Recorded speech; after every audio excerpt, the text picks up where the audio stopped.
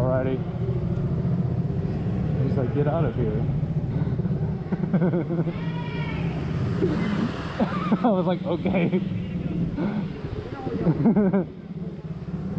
no, they weren't yelling. They were just talking.